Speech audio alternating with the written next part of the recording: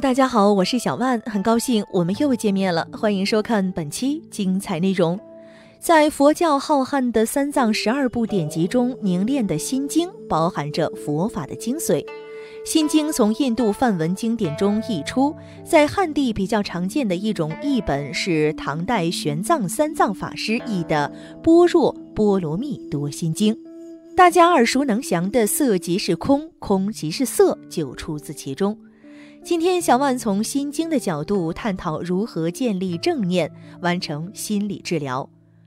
中国人最早对佛教的接受与老庄思想有一定关系。般若讲的是空，老庄讲的是无。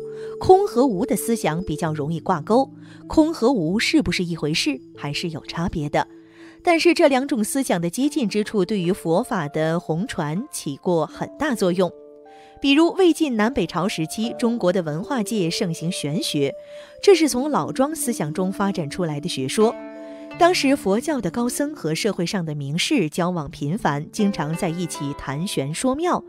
著名的佛教法师芝顿，由于擅长与名士倾谈而备受推崇。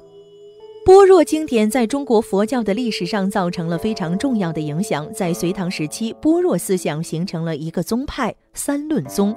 同时，禅宗早期以楞伽经为主导思想，四祖之后则以般若经典《金刚经》作为修行的重要依据。在中国的社会上，般若经典也影响广泛。在临床心理学没有出现之前，佛教在中国社会上长期担任心理治疗的角色。可以说，《金刚经》和《心经》为中国人的心理治疗早已立下了汗马功劳。古代的很多士大夫、文人乃至老百姓，苦恼的时候念诵《心经》，内心就会平静下来。《心经》为什么具备这样强大的心理治疗功能？我来尝试说明它的治疗原理。认识自己。般若在汉语中没有能够准确对应的词汇，可以方便地译为智慧。但般若智慧不同于世间的普通智慧。波罗蜜多译为到彼岸，也可译为度。通俗地说，就是摆脱和解决问题。般若经典承载的内容，正是告诉我们如何用智慧解决问题。到彼岸既是方式，又是结果。解决什么问题？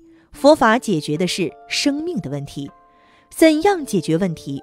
心理治疗的功能来自正念，般若就是最高的正念。六祖坛经把这种最高的正念称为无念。平时我们坐在禅堂里修正念，这通常只是在进行基础练习，努力建立一种抵达最高正念的基础。生命的问题来自无名，众生处在无名的状态，无名带来了迷惑和烦恼。说到明，我们立即就会想到光明。现在我们所在的这个房间里有光，什么都可以看得很清楚。如果没有光，就会漆黑一片。同样，生命也存在这两种状态：明和无明。无明相对明而言，明是指每个人的内心都有一盏智慧的心灯。这盏灯没有被点燃的时候，整个生命处在昏暗之中。这就是普通人的现实状况。只要对生命进行深层的思考，我们很快就会发现内心存在很多困惑，存在很多难以解答的问题。比如生命从哪里来，归宿又在何方？还有我是谁？大家在生活中早已习惯于以自我为中心，但是什么才是真正的我？是你的身份代表着你，是你的相貌代表着你，是你的事业代表着你，还是你的观念代表着你？对自己的不认识和错误认识是人生一切烦恼的根源，这就是佛教要解决的问题。禅宗讲明心见性，禅宗的修行让我们认识本来面目，也就是帮助我们认识自己。在西方哲学中，认识你自己也是一个横亘千古的谜题。我们认识自己吗？我们认识自己的生命和命运吗？生命的开展遵循着什么样的规律？谁决定我们的命运？命运能不能掌控？关于这些问题，有的宗教认为有一位万能的神在主宰一切，但人们不一定都会接受这个答案。还有一个问题也很重要：人为什么活着？这里又牵涉到一个问题：生命的意义在哪里？如果我们对生命缺少认识，我们的生命就谈不上有多大意义。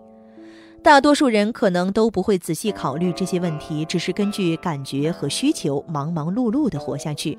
每当一种需求被满足的时候，就觉得这对我很有价值。于是问题又回到了起点：我是谁？自我是什么？人们抛下这些重要的问题，不去探索需求什么，就会去追逐什么，却没有去审视我们的需求健康不健康。某种需求给自己的生命带来的是成长还是堕落？给社会的发展带来的是正向的推动力还是破坏力？这些问题关系到你如何决定和选择你的未来。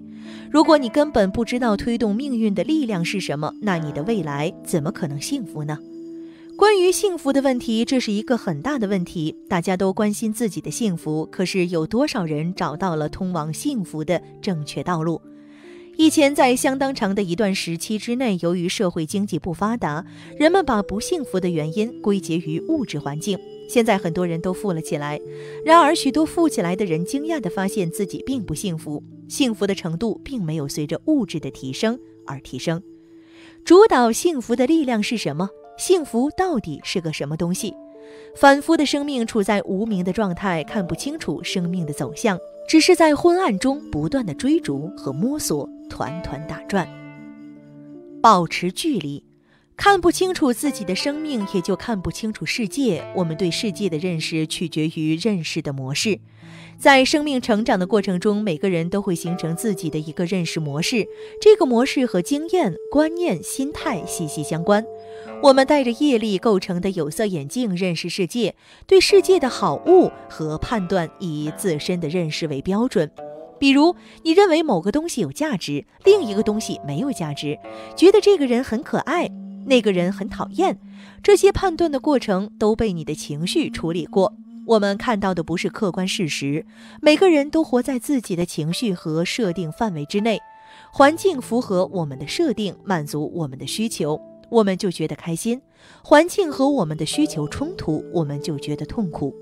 对于自身的错误认定是很多烦恼产生的根源。我们每天都会遇到很多问题，这些问题能够对我们产生影响的关键在哪里？就在于我们用什么样的观念看待这些问题，用什么样的心态面对这些问题，而不是这个事件本身。同一个事件，用不同观念去看，对人产生的影响大不相同。因此，遭遇同样的金融风波，有的人自杀了，有的人发疯了，有的人还是很淡定的。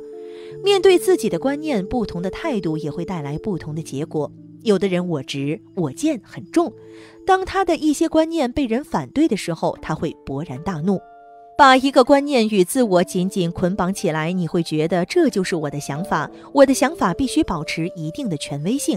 当这个想法受到抵触，你受到的冲击就特别大，引发的烦恼也特别重。这样一来，你内心的回旋余地就很小了。